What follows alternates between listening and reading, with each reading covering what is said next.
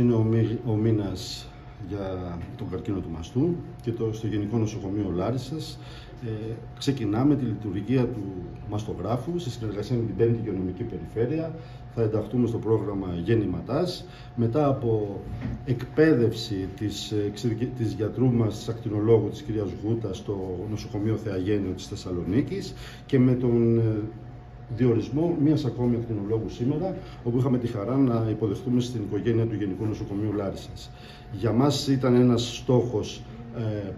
για το ακτινολογικό μας τμήμα, το οποίο, ο οποίος επετεύχθη και είμαστε στην ευχάριστη θέση σήμερα να παραδώσουμε σε λειτουργία στους Λαρισαίους το σύγχρονο μαστογράφο του Γενικού Νοσοκομείου Λάρισας.